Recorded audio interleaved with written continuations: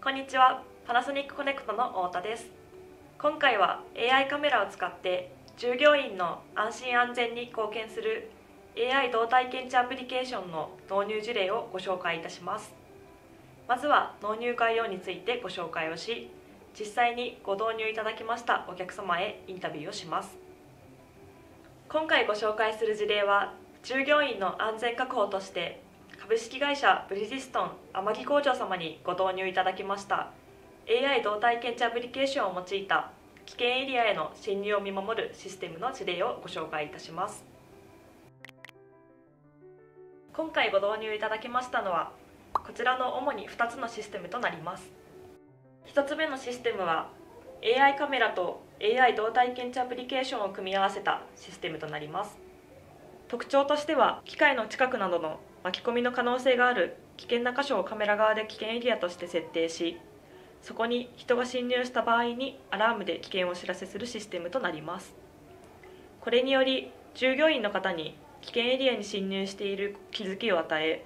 機械の巻き込み事故の防止に貢献します。2つ目のシステムはカメラとソフトウェアを組み合わせ 3D デワープ機能を使用することでこのように感覚的に素早く任意の箇所にズームインすることが可能となっております。これにより現場状況の確認作業軽減や広範囲をカバーすることができるようになりました。はい、えー、っと甘木工場はですね福岡県の中央ちょうど中央部分にあります朝倉市というところにございまして、え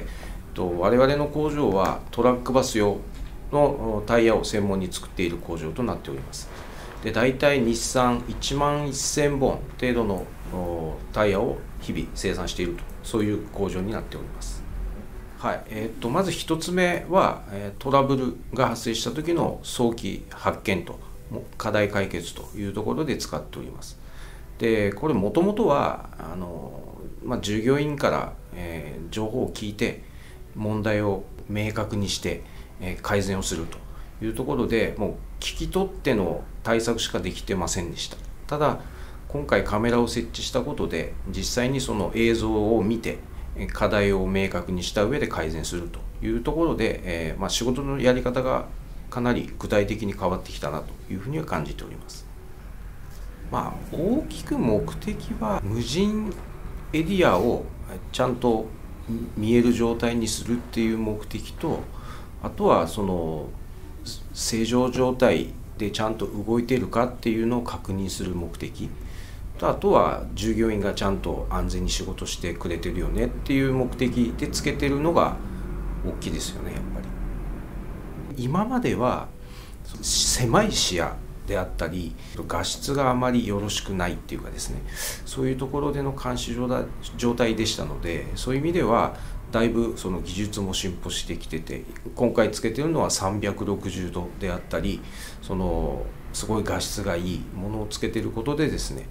あの安全に仕事できてるっていうのがしっかり確認できるようになってきたっていうのは大きいと思ってます。今回カメラを導入している工程の特徴として